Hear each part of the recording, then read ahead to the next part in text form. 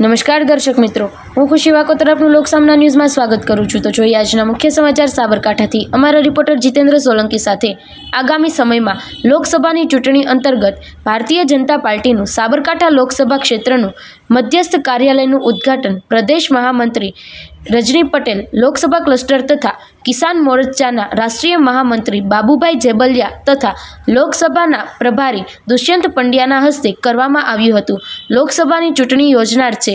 ત્યારે પ્રદેશ મહામંત્રી રજની પટેલને સીજે ચાવડાનું નામ સાબરકાંઠામાં સંભળાઈ રહ્યું છે. તે વિશે પૂછતા તેમણે જણાવ્યું હતું કે પાર્ટી જે ઉમેદવાર નક્કી કરે તે માન્ય રહેશે. અત્યારે કોણ ચૂંટણી લડશે એ કહેવું વહેલું છે. જે પાર્ટી નિર્ણય લેશે તે માન્ય રહેશે.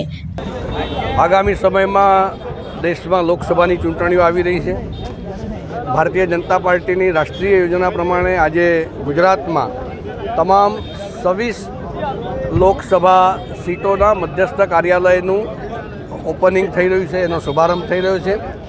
અમારા રાષ્ટ્રીય અધ્યક્ષ આદરણીય જેપી નડ્ડા સાહેબ આજે ગાંધીનગર લોકસભાના ઉદ્ઘાટન સાથે સૌ કાર્યકર્તાઓને માર્ગદર્શન કરવાના છે.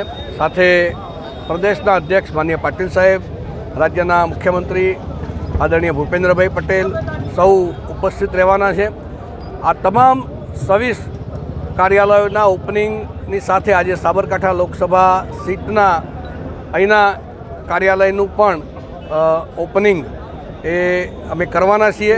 હમણાં થોડીક જ સમયમાં માન્ય નડ્ડા સાહેબનું માન્ય પાટીલ સાહેબનું માન્ય મુખ્યમંત્રીશ્રીનું માર્ગદર્શન અમને પ્રાપ્ત થશે.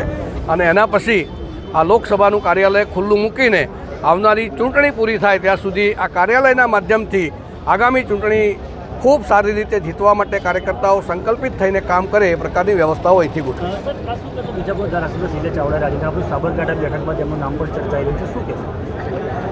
ભારતીય જનતા પાર્ટીમાં કાર્યકર્તા કામ કરતાં કરતાં આગળ વધતા હોય છે અને ચૂંટણીની વ્યવસ્થાઓમાં કોણ ચૂંટણી લડશે એની એક ચોક્કસ ચયનની પદ્ધતિ છે. આ પદ્ધતિ પ્રમાણે અમારી રાષ્ટ્રીય પાર્લામેન્ટરી બોર્ડ જે કોઈ ઉમેદવારનું નામ જાહેર કરશે, એના માટે સૌ કાર્યકર્તાઓ કામ કરશે. એટલે અત્યારે કોઈ કોણ ચૂંટણી લડશે એવું કહેવું એ ખૂબ વહેલું છે. એ ભારતીય જનતા પાર્ટીનું અમારું જે પાર્લામેન્ટરી બોર્ડ છે નક્કી કરશે.